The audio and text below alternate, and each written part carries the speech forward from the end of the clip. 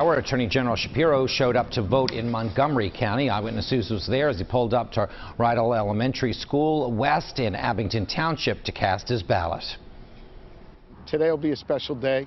God willing, we'll be successful, and then tomorrow we get to work.